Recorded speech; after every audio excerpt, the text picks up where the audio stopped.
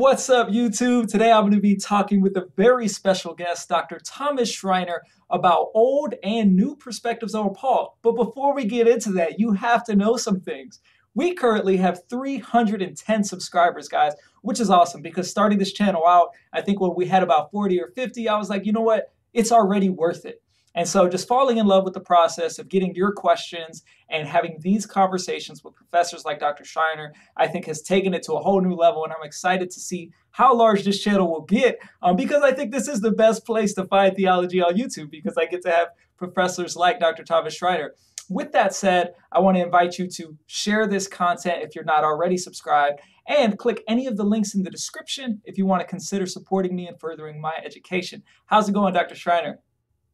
I'm doing great, Nicholas. It's a beautiful day here in Louisville, Kentucky. Yeah, yeah. It's even more beautiful in Miami. I hate to brag, but it is. I'm, I'm sure it is. so, just a quick question: How how many books have you written on Paul? Do you know? Uh, you know, I've never counted. I, I mean, not that I've written that many, but I don't keep an exact count. So, yeah, several at least. Hmm. Yeah. Let me ask you another personal question. When did you know that you wanted to get into biblical studies and New Testament studies?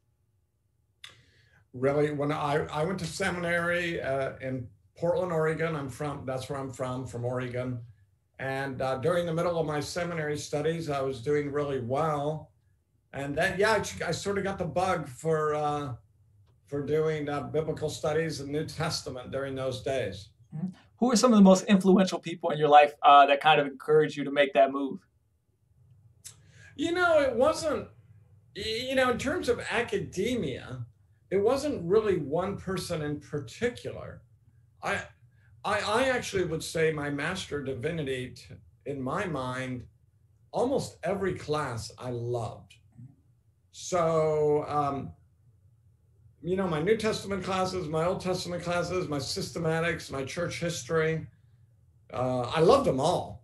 So I, I wouldn't point to any particular individual, but just the whole experience was what motivated. Okay. Now let me ask the same thing about Paul. I mean, when did you realize, okay, you had a lot to say or a lot that you wanted to say about the Apostle Paul? You, you know, I mean, actually, you know, I just want to say I've written a commentary on First, Second Peter, and Jude, and um, I'm on my second commentary on Revelation, and I've written a commentary on Hebrews. So, and I've written a commentary on Luke. So, yes, I do, and I've done most of my work on Paul but not but it's never been exclusively hmm. about paul for me. I suppose though you know i went to and i and i love th- these brothers who taught me. I went to a dispensational school. And so when i was doing my doctorate i was still trying to kind of work out in my mind how do you put the whole bible together? Because i'm not a dispensationalist. And um, so Paul, Paul, I mean, obviously you could go to Hebrews, right? But Paul, but if you're gonna if you're gonna put the whole Bible together, how does it fit together covenantally? Uh, you you really got to dive into the epistles. Mm-hmm. And you've come to identify with the movement that's been kind of labeled progressive covenantalism, correct? That's right. That's right. Yeah, I'm very close. You had Steve Wellum on your program. I, I would I would agree with Steve and Peter on the progressive covenantalism. I think that's, I, I think their work is excellent. Cool, cool. And you're also James Buchanan Harrison, professor of New Testament interpretation at Southern. How long have you been doing that? Uh, yeah, that's a good question. Maybe they gave me that 10 years ago. okay. Nobody ever, nobody ever heard of the guy. I even asked Dr. Mohler, who knows everything about Southern, who, who was this guy? And he said, I have no idea. okay. Did you do any research to find out? No, I, know. I'm, maybe it's good. I know. Mm, I mean, who knows? I know absolutely nothing about him. So. okay. All right. So it's interesting. Maybe if you find out, let me know. well, yeah, we can do a whole interview right there. I mean, maybe maybe there's a reason that nobody knows who he is. I don't know. I don't know. Yeah, I don't know either. Yeah. okay, so we're going to be talking about old and new perspectives on Paul. I mean, even since I was in uh, undergraduate, which is, I mean, not even uh, eight years ago, um, there's been a lot of developments within Pauline studies. It's just like a firecracker every time something comes out on the guy. So um, let's start off with this quote. All right, this is as, as it regards the reformers and their interpretation of Paul. The quote goes like this The reformers were wrong in assuming Judaism was a legalizing religion of works righteousness and interpreted Paul on this false assumption. So here's my question for you Did the reformers misunderstand Judaism? Yeah, well, that is a that is an outstanding question, and honestly, that that's a hard question to answer because, I mean, there's a sense, right? There's a sense in which the reformers didn't have the resources and opportunities to study Judaism eh, with the kind of depth that's available to today. I think I think everybody would acknowledge mm-hmm. that. That the reformers were reading Judaism, I think, through the lens of their struggle with Catholicism in the 16th century. And um, so I don't think anybody would say, well, look, the, the way the reformers understood Judaism is necessarily the way we should understand it today. But, and this is a, this, is this I'm not a new perspective person. Here, here's what I'd say. I think the reformers' understanding of Paul was substantially spot on. Mm-hmm. And what Paul says, I think they understood well what Paul was saying about Jewish teachers in his day. And I think they rightly said, look, there is a there is a polemic there's a polemic against a kind of works righteousness that Paul is responding to. So when Paul says we're not justified by works, but we're justified by faith, he was responding to some Jewish teachers mm-hmm. who were arguing that.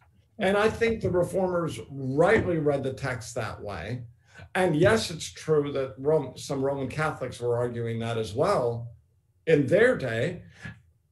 And and the next thing I'd say is that's not very surprising because at the end of the day, we as human beings, me and you, Nicholas, and everybody in the world, we want to justify ourselves before God and before others based on our uh, behavior. So it's not very surprising that the Roman Catholics, at least some of the Roman Catholics of the 16th century, and some of the Jews in the first century uh, fell into the same problem. So, if I'm understanding you correctly, you're saying that there's there's two distinct questions: whether or not the reformers understood Judaism, and whether or not they understood what Paul was saying about Judaism. And you're saying to the latter, you think, or you're saying to the latter that they got Paul's interpretation of the Jews of his day correct. That's right. That's right. Now, I would say that, and this goes back to E.P. Sanders' work, I guess, is, and I guess some people also reference Krister Stendahl um, as being sort of a front runner of this. But I would say a lot of the work being done on Paul today kind of trades on this foil. You know, like the, the reformers were using this works righteousness as a foil to Judaism, and Paul was, you know, or that was Paul's foil. And would you say that much of the work taking place in Pauline studies today still kind of has that lingering? Yeah, yeah. Hey, Nicholas, can we stop for a minute? Oh, we're live. So, well, do you need to go stop and do something? Because we have people watching. I can just tell them to send it. Oh, we're questions. live right now. Okay. Yeah. No, I can keep going then. Okay. Uh, I can keep going. So repeat that question again. Sorry. Uh, yeah. So uh, a lot of people still say that the reformers were using this as their foil, and uh, or they saw that this was Paul's uh, foil, so that they had works righteousness, but what we needed is righteousness by faith. Um, do you still see that as being the dominant view within uh, New Testament studies today? That uh, the reformers essentially got this understanding of Judaism wrong, and that Paul wasn't espousing um, that. I, I think it's really hard to say, Nicholas uh, what is the dominant understanding today. Um, there, there's so much diversity out there, but surely there's a lot of people who would say that uh, that Paul got this wrong. Mm-hmm. Uh, that that is a that is a popular view. But let, let me just put it this way: the new perspective really started in 1977 mm-hmm. with Paul and Palestinian Judaism. That was 54 years ago. So, you know, there's a sense in which it's no longer new, right? and and we also have to say not everybody in the new perspective argues the same thing. There's even diversity in it. And and I know you have a question coming up on this. There are post-new perspective views. So you know, it's a very it's a very diverse and confusing environment today. What I my particular contribution, what I want to say, I want to say, look, the the standard reformational reading of Paul has stood the test of time, and it, it's still persuasive today. Good, good. Uh, there are solid reasons for uh, believing it exegetically and uh, theologically. Mm-hmm. Good, good. Okay, so second questions. Uh, Sanders maintains a getting in and staying in relationship, not only for Judaism, but also for Paul. So, at least as far as I understand it, we enter the covenant through grace, but we stay in by works. So, how would you respond to that? Yeah. First of all, I think that paradigm for Judaism is too simple. I think, you know, Sanders says that's what's going on in Judaism. There are a lot of different understandings of what's going on in Jewish sources. Sanders' work has been subjected to a lot of criticism. Mm-hmm. So I don't I don't think it's universally true to use this little formulation to describe Judaism. There are some sectors of Judaism that were emphasizing um, that were emphasizing human works more than others. It's very interesting. John Barclay has a, you know his two recent books on on on Paul Paul and the gift, and I think Barclay points out, look, there are different typologies of grace out there. Uh, he he describes six different ways that we could formulate the idea of the gift or the, or grace, and so Sanders' formulation is overly simplistic, hmm. right? He he narrows us down to. Uh, to kind of one understanding. Secondly, secondly, there there it it all depends on what words mean. You know, we get in by grace, we stand by works. I would say Paul believes works are important, but the works that we accomplish are as a result of God's grace, right? Mm-hmm. Even even the way Sanders formulates it, makes it sound like our works are separate from grace. Mm-hmm. But for Paul, yes, we get in by grace. Do we stand by works? Yes, in a sense, but that could be really misleading if you think, okay, we stand by by works, and that's fundamentally about what we do, mm-hmm. apart from God's grace. But it's quite another thing to say our works function as evidence that God has graciously chosen us to be our his own. And those who don't have such good works don't belong to God, right? Paul says, you know, I'm, I, t- I tell you in advance. This is Galatians 5:21. I tell you in advance, just as I told you before, those who practice the works of the flesh, you know, you just mentioned the works of the flesh. Those who practice the works of the flesh will not inherit the kingdom of God. I mean, what could be clearer? Yeah. If, if, if you practice the works of the flesh, you won't enter the kingdom. But the very next verse, what does Paul say? For the fruit of the Spirit is love, joy, peace, patience, kindness, goodness, faithfulness, gentleness, and self control. Any good works we do are the fruit of the Spirit.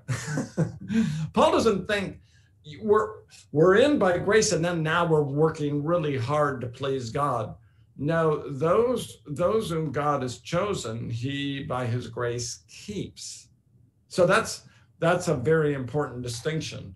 And I, I think you're kind of sensing, um, your hearers are sensing in this conversation, we, we can't pe- speak simplistically about these matters because uh, you, you have to define your terms and we have to explain what we're talking about. I mean, Sanders is a great scholar, but I don't think I don't think at the end of the day, his formulations, really, I think they're just too simple. Yeah. Um, I want to come back to the role of works at the final judgment because I think that uh, interaction between you and N.T. Wright on that subject is actually very interesting. But let me—I have a couple quotes from Wright, so let's let's read their quotes. So this is Wright commenting on Romans 10 and kind of his realization about uh, the misunderstanding of Judaism. He says, with their own righteousness, uh, I think it's Romans 10 2, I may be mistaken, uh, was not in the sense of a moral status based on the performance of Torah and the consequent accumulation of a treasury of merit. Now, that's how most people are taught it. You know, like you grow up in churches, you know, you, you can't earn your favor before God, and that's what they were doing wrong. So the average layperson is probably taught something along that line about Judaism. But he says their own righteousness was an ethnic status based on the possession of Torah as a sign of automatic covenant membership. So, how should we understand righteousness within Paul's Jewish context?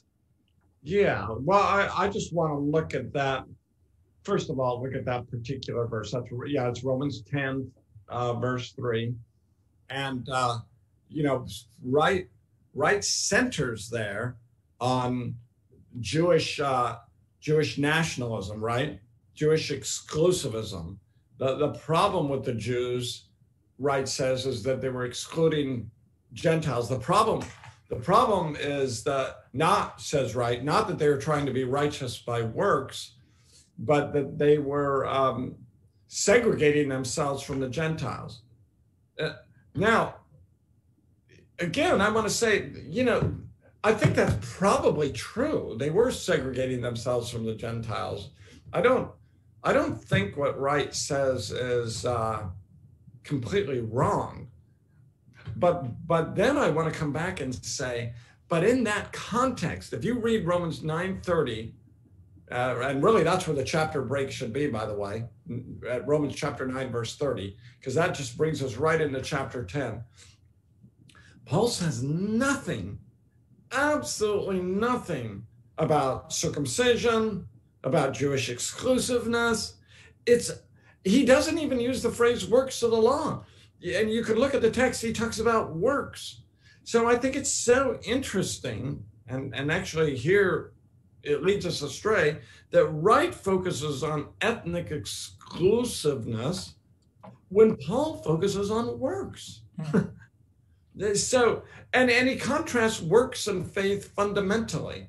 So I would say at the end of the day, what what Paul is saying is, look, you are trying, he says to the Jews, uh, you're trying to establish your own righteousness. What does the context say? Based on what you've done, based on your works. And God's righteousness, so that's this is the question you asked. God's righteousness, which I think is his attribute of righteousness, but also I think it's a gift of righteousness. God's righteousness, which is a gift that is given to us, is given to us by, by faith, by trusting by trusting in Christ.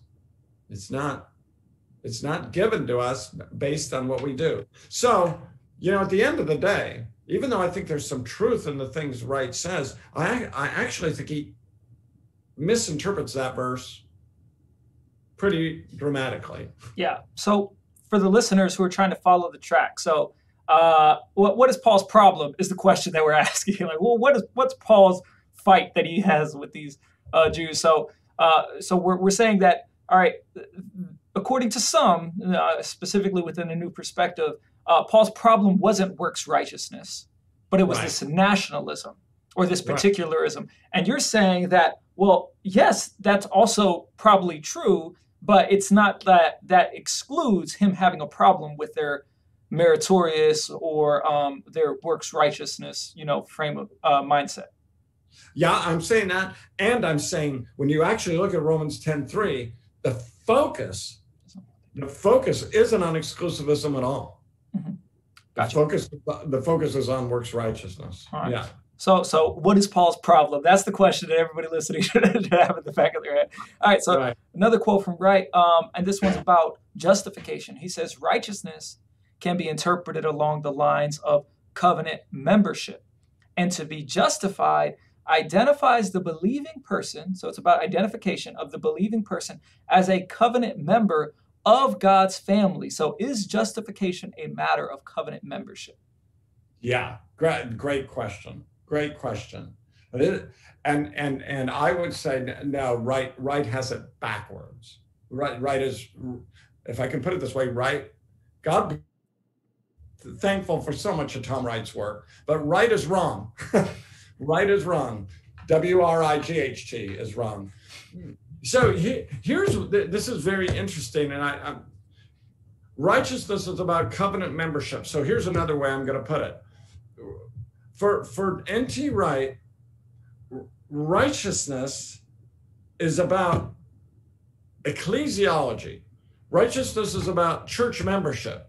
So Wright says when we speak of being right with God, R I G H T, when we speak of being right with God, we're not talking about soteriology fundamentally, salvation, our membership with God. We're talking we're talking about ecclesiology, church membership. We're talking we're talking fundamentally about our relationship with one another, right? That that, that connects back to what we talked about earlier, uh, right? About nationalism, exclusivism. So you can see how these two fit together. But I but I would say in response, no, no, that's backwards. When Paul is talking about the righteousness of God, he is not talking fundamentally about covenant membership, but about whether you're right with God. It's a soteriological issue, it's a salvation issue. And here's one, I think, very important piece of evidence to uh, demonstrate this. And the evidence is just look at where Paul speaks of justification and righteousness. He often uses the word salvation as a synonym. Now, they're, not exact synonyms, but my point is righteousness is fundamentally about salvation. So, Wright makes it horizontal, right? It's about covenant membership. It's being uh, how you relate to one another. But but the reformers argued, and I think they're exactly right here. And I want to argue, righteousness is fundamentally vertical your relationship with God. Now, of course, it has implications for our church membership, for covenant membership. But but that's why I say Wright has it backwards, because Wright would say it's about covenant membership and it has implications for our salvation. But I would say, look at the text carefully. When Paul's talking about righteousness, he's not talking about covenant membership. He's talking about your relationship fundamentally with God about whether you're saved, mm-hmm. about whether you're. So, what does justification mean? Justification has to do with whether you're right. You stand, you stand in the right before God. So when he says justified identifies the believing person as a covenant member of God's family, you're going to say no.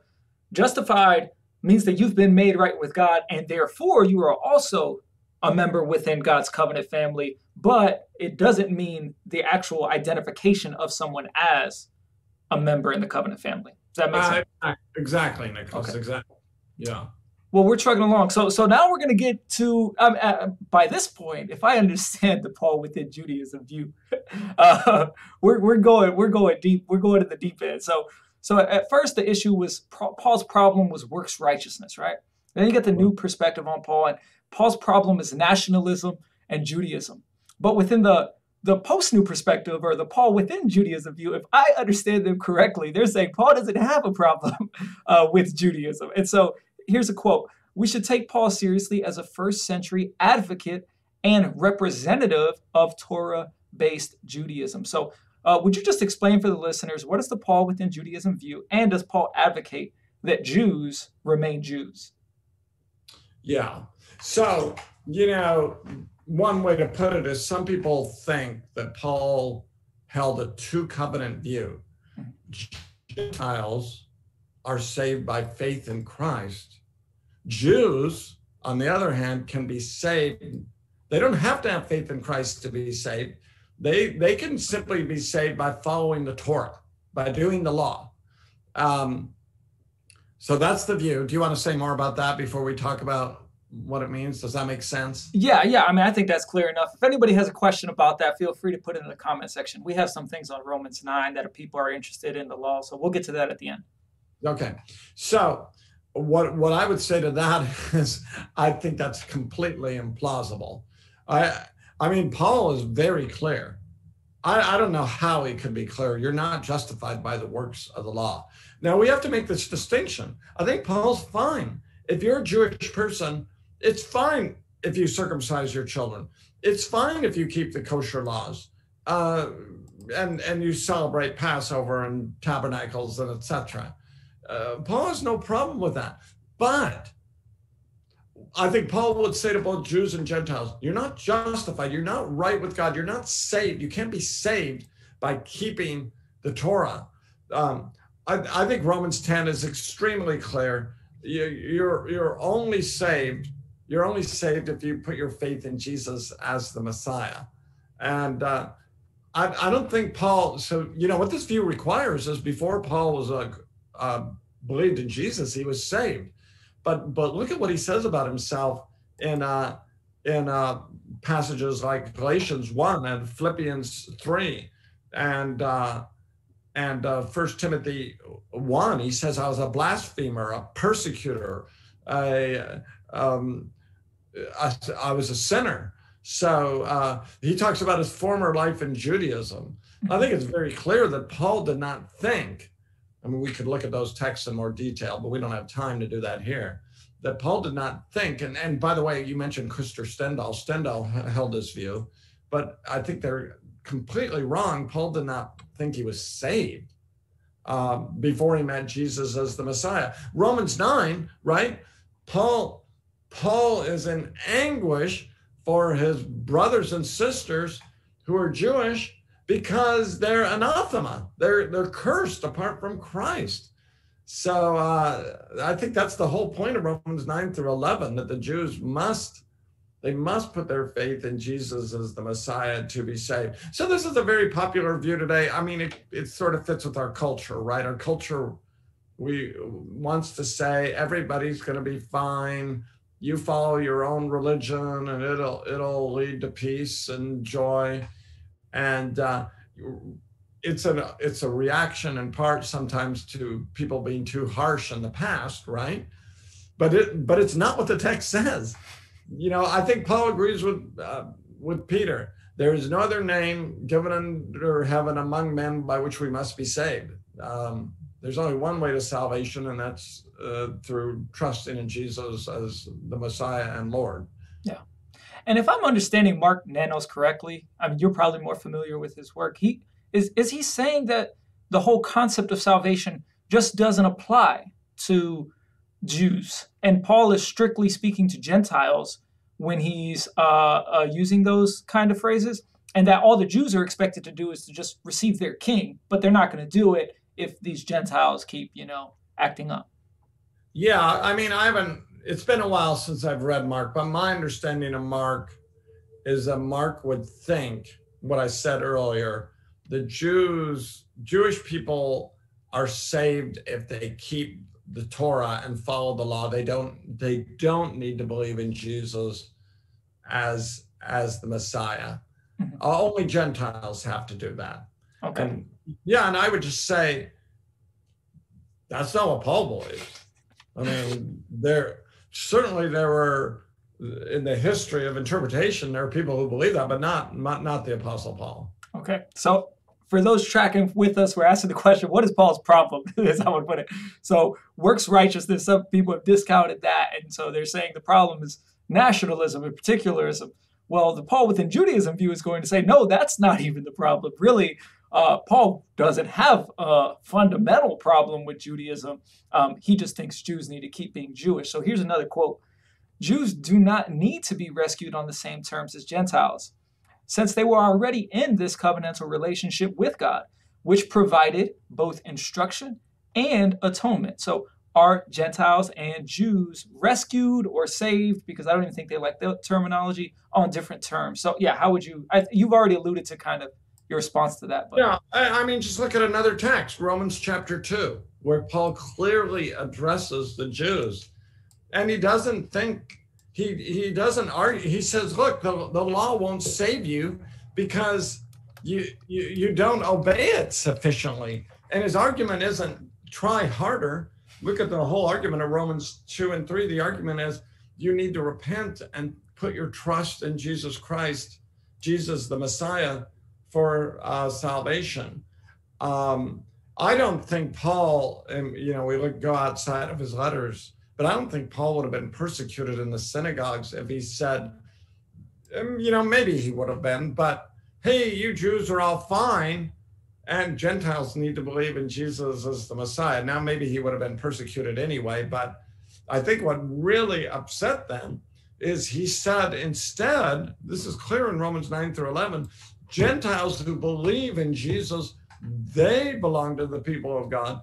You Jews who do not believe in Jesus, you are unbelievers. You are headed for end time destruction. That, that was very disturbing to people. And it's still disturbing today. Yeah. It's what, you know, it is interesting because what bothers people today about Christianity, the Christian faith, is its exclusivism. And that's what bothered people about Paul. It's the same issue, you know? Yeah. So we, we kind of know we're on the right track. We have the same the same objection that was raised against Paul is uh, is still around today. Good, good. So we're going to move to some listeners' questions. Uh, this question is from John Cranman. It's a two-part question on the issue of corporate elections. So you actually have had a uh, interaction with Brian Bassiano. I think that's how you pronounce his last name on the uh, doctrine of corporate election, and I have him coming on maybe sometime next month. So uh, this listener says. Uh, Dr. Schreiner, corporate election is the idea that God chooses his people through a covenant representative. Thus, when God chose Jacob, did he not simultaneously choose his descendants through him? Second part, how can we avoid corporate election being the type of election in Romans 9? How can we separate the choice of Jacob from the choice of his descendants?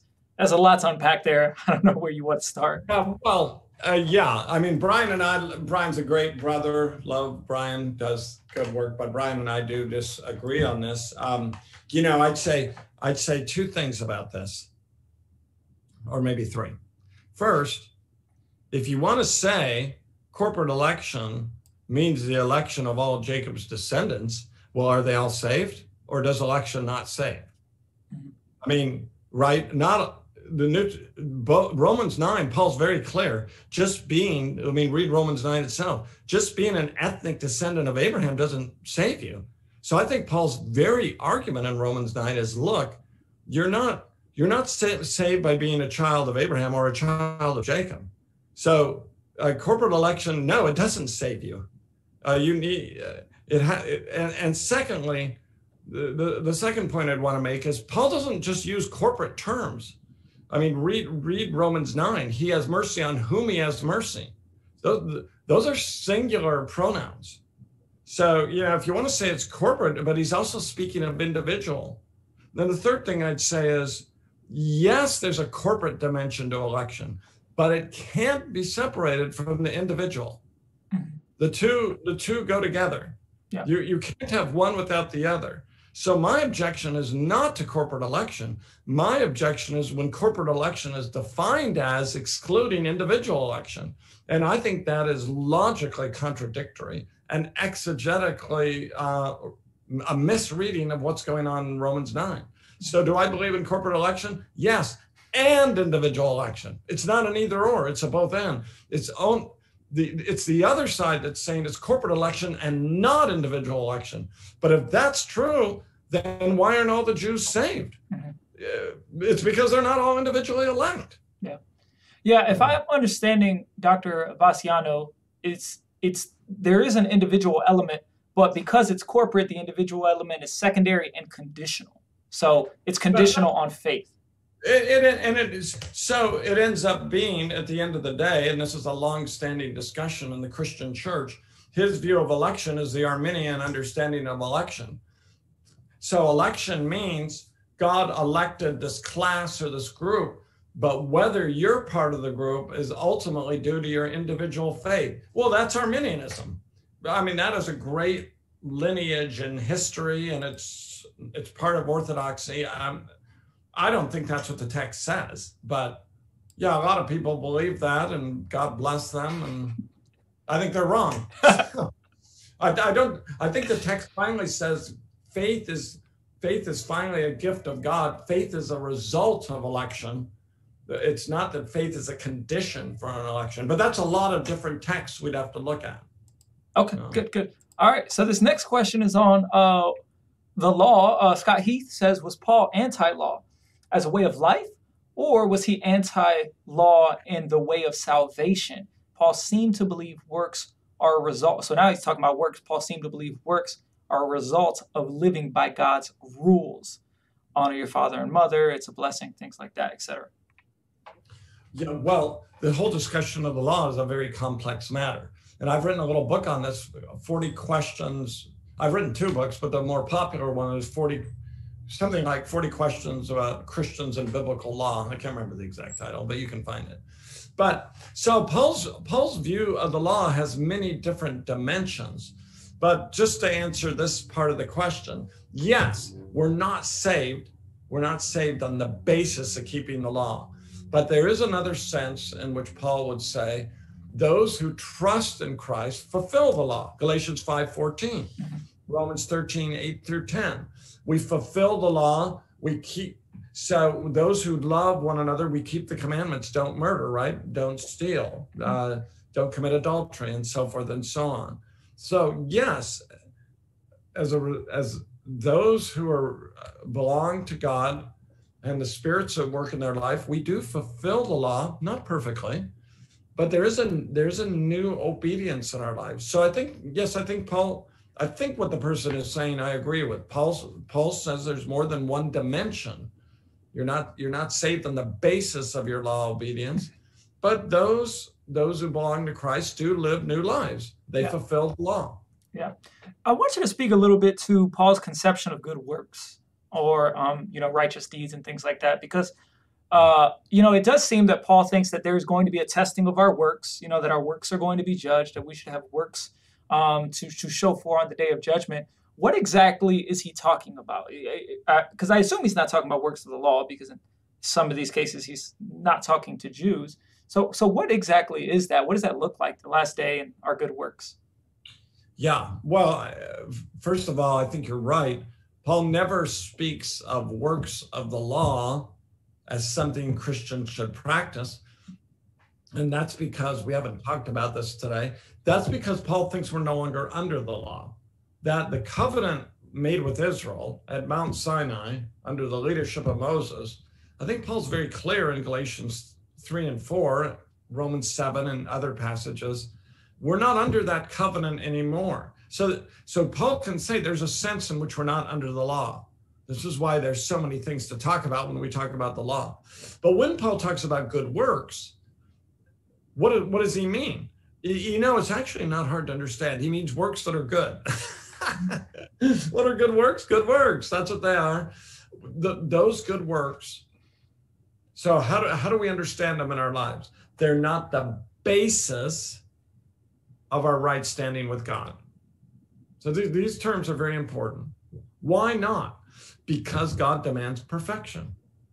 So they can't be the basis of our relationship with God. No, the basis of our relationship with God, I would argue, is the righteousness of Christ imputed to us by faith. Mm-hmm. Christ's perfect righteousness. So then, what role do good works play in our lives? I would argue good works function as a necessary evidence that we're trusting in Christ. And that's what I want to say. They're a necessary evidence. They're a clear evidence. If they're not there, so are good works necessary? Yes. But they're not necessary as a basis. They're necessary as the fruit of our relationship with Christ. So I, you know, I, I mentioned this verse before. Those who practice the works of the flesh will not inherit the kingdom of God. Paul often says things like that. He says, if you sow, Galatians 6, what, 8 or 9, if you sow to the flesh, you'll reap corruption, right? Romans 8, 13. Um, if you don't put to death the deeds of the body, you will die. Mm-hmm. So work, yeah, works are very important, but not as a basis, but as evidence of our new life in Christ. So at the final judgment, I mean, I guess what role will the judgment of our works play? I mean, I think our works our works will function as proof. Okay. You know, if if the so to speak, not that I think this is going to happen literally, but if the devil were to say, "Hey, what's the proof that Nicholas is a Christian?" I think God would say, "Look at the fruit of his faith. He was he was a changed person." I would even say, I would even obviously it's imperfect, right? You're not a perfect person. But I would even say that's even true of the thief on the cross. Did he have any good works before he died? Yes, he did. Were most of his works in his life good? No, they weren't. But did he have any good works before he died? Yes, he did. What was his one good work? He didn't have very much time left. Do you know what his good work was? The other thief was criticizing Jesus, and the, the one who trusted in Jesus said to him, Stop that. Stop that. That's a good work, you know? Stop criticizing Jesus. And then he died. And you know, if the devil were to say this guy didn't trust in Jesus, and Jesus would say, "Yes, he did. Look at look at the last thing he said before he died." Okay. So it's not it's not a piling up of look. There's more good than bad here, right? Mm-hmm. Let's calculate.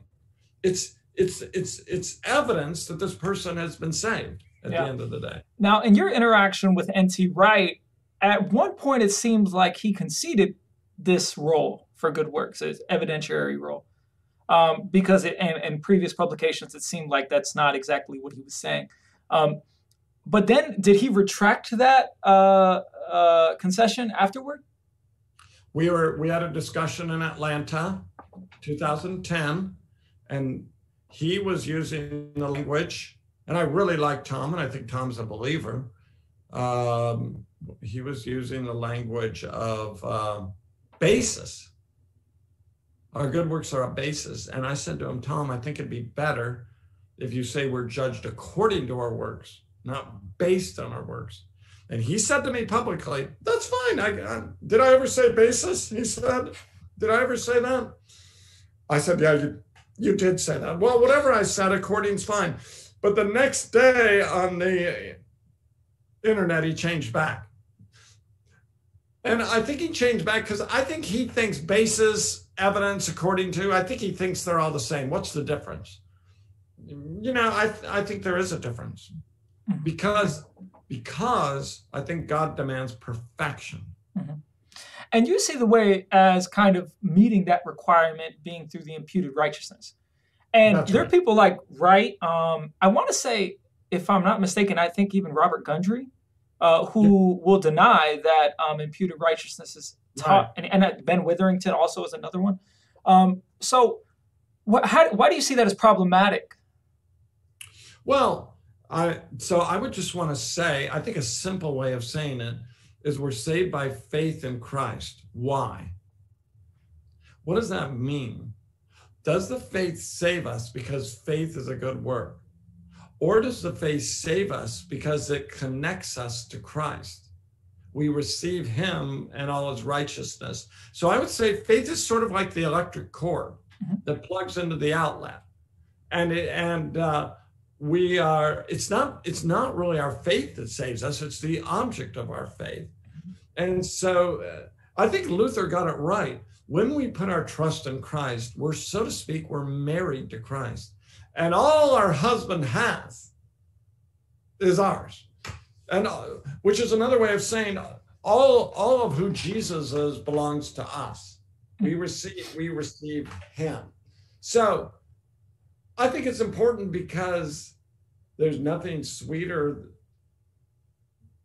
to say than to say Christ is my righteousness. And the basis of our assurance is not our performance, which is always imperfect. As James says, we all stumble in many ways. By, by that, I think he means we all sin in many ways, even after we're Christians.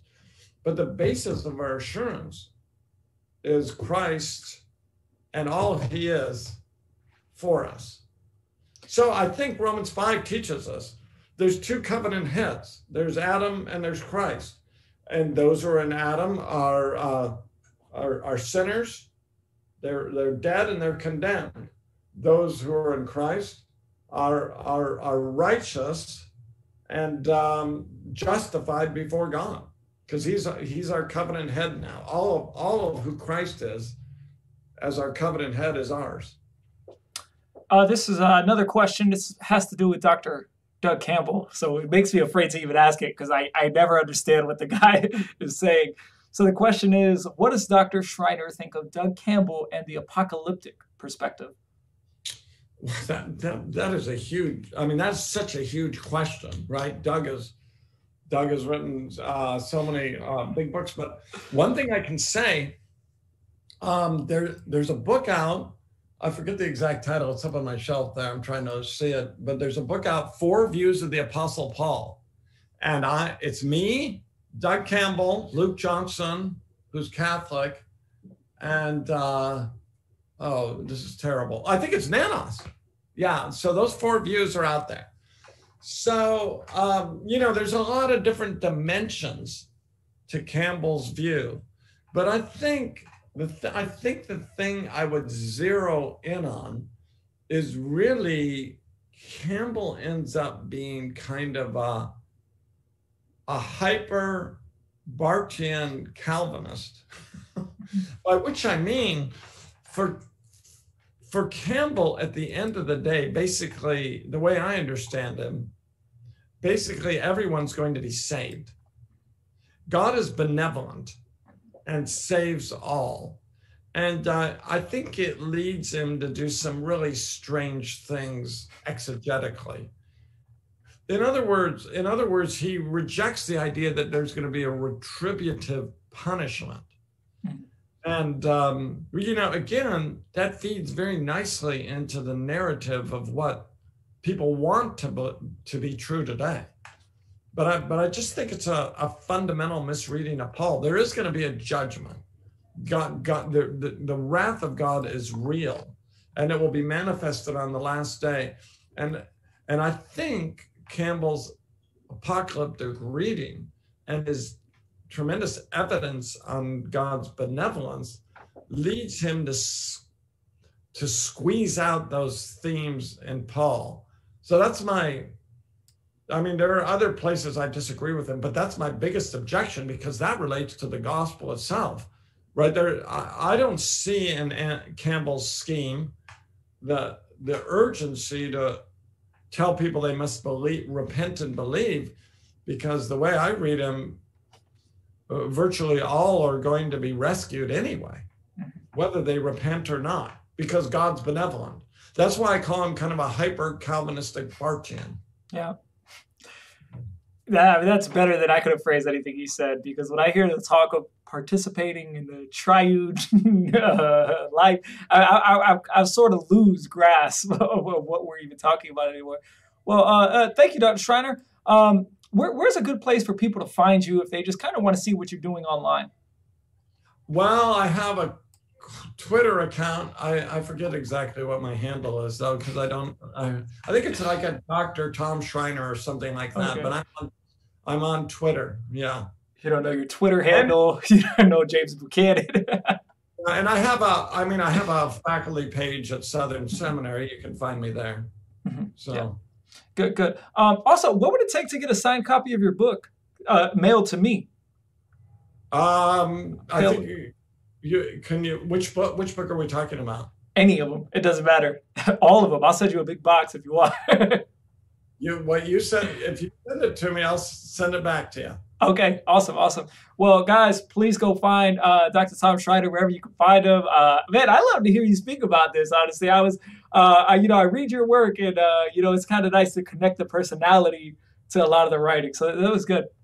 That was great talking to you, Nicholas. It was a, it was a joy. Yeah, yeah. So uh, I'll be doing the outro for the YouTube video, and uh, we'll still be connected through Zoom. So, guys, please don't forget to subscribe to the channel. Um, continue to have conversations like this with professors in real time because this is the kind of stuff you have to go to seminary to do. But now with YouTube, I mean, we can do it here every single week and you get two, three classes brought straight to you on YouTube.